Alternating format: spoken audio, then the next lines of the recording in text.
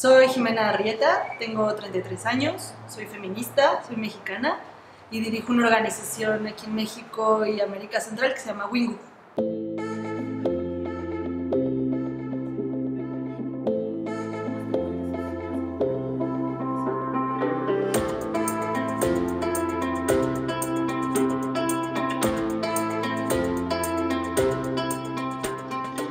Principalmente ayudamos a otras organizaciones en el uso de tecnología. Eh, esto lo hacemos a través de capacitaciones, investigación, eh, algunas otras veces ayudándoles a analizar datos, a visualizarlos, para que puedan después hacer como campañas de incidencia en políticas públicas. ¿Qué pasa? Las organizaciones que trabajan con cuestiones de género tienen eh, necesidades tecnológicas muy específicas muchas que tienen que ver con cómo generan datos, cómo los analizan. Entonces, con el apoyo del, programa de Goalkeepers, lo que quise fue, en primer lugar, entender cómo las organizaciones, cómo trabajan en relación a la tecnología, qué es lo que más les duele, dónde está como el principal potencial, cómo pueden mejorar la comunicación a través de campañas.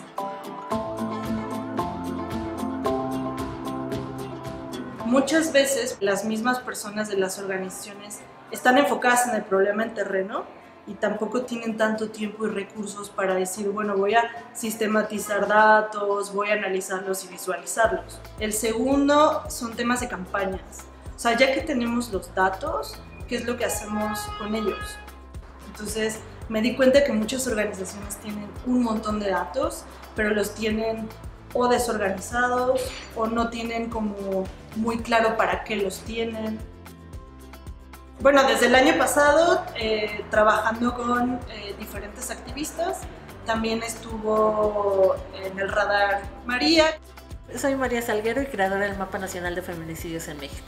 Es un mapa que lo hice principalmente un proyecto de datos abiertos, porque en México no hay datos abiertos de feminicidio. Ah, nombra primero también a las víctimas para no verlas como cifras frías y heladas y decir cada punto en cada mapa es una mujer asesinada. Tenemos un grave problema de impunidad.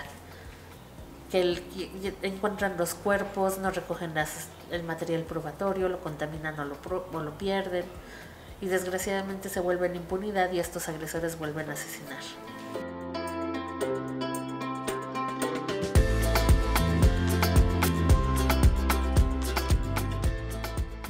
Ayudó a que el problema pasara a la agenda nacional y sigue ayudando a visibilizar.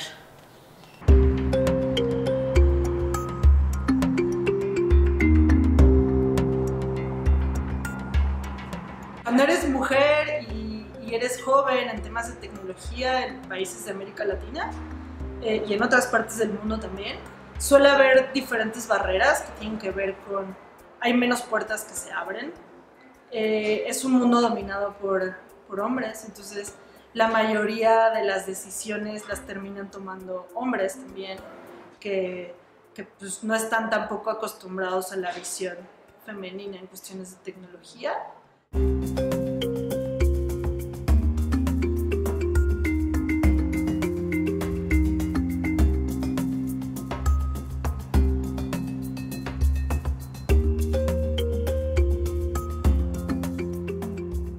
Es crucial no solamente para organizaciones, sino también movimientos y colectivos, eh, generar información de nuestra causa para sobre todo hacer alianzas y colaboraciones con otras personas que están haciendo lo mismo. Es una oportunidad única en la historia de la humanidad. Nunca se había generado tanta información como ahora.